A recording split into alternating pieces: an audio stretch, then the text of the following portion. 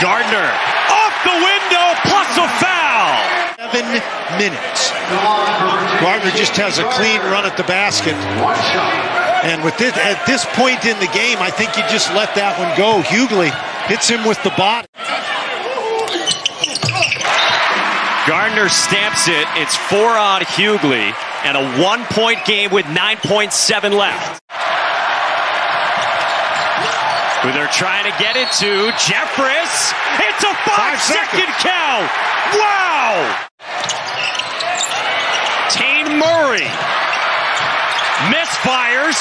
Gardner keeps it alive. And gets the roll. Murray in the game to shoot the three. And Gardner just battles for the ball. I think Shedrick Shedrick gets in here and does a really nice job going after this ball. So the Panthers just a little bit off balance, and then Gardner's ball just drops in.